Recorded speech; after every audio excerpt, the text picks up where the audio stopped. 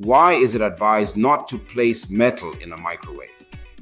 Putting metallic objects inside a microwave oven is counterproductive because microwaves, similar to radio waves, are a form of electromagnetic generated by a magnetron in the oven. These microwaves get absorbed by the water content in food, causing molecules to oscillate and create heat. However, metal objects disrupt the microwave's flow, reflecting them away from the food and potentially damaging the oven. Due to their reflective properties, metals like aluminum foil and stainless steel can lead to sparks, fires, and harm the microwave if put inside.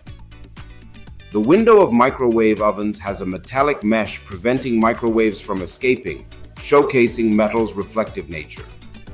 American engineer Percy Spencer, known for his work on World War II radar technology, accidentally discovered microwaves' heating properties standing near a high-intensity microwave-producing magnetron, he observed a candy bar melting in his pocket.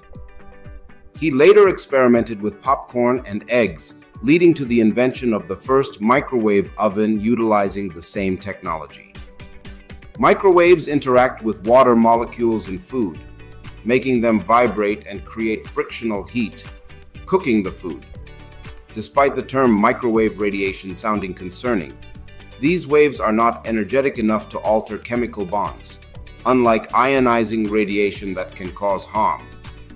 Microwaves only mechanically heat food molecules through friction, maintaining the food's chemical composition compared to conventional heating methods like stoves. While metals conduct electricity and reflect microwaves, causing sparking and potential plasma formations inside the oven, Certain metal coated packaging takes advantage of this to crisp food surfaces. As long as metal objects are kept away from the oven's walls, leaving a metal spoon in a bowl while microwaving should not cause significant issues. This showcases the benefits of utilizing radar technology in cooking processes, making microwave cooking a safe and efficient option. Subscribe to IQ Echo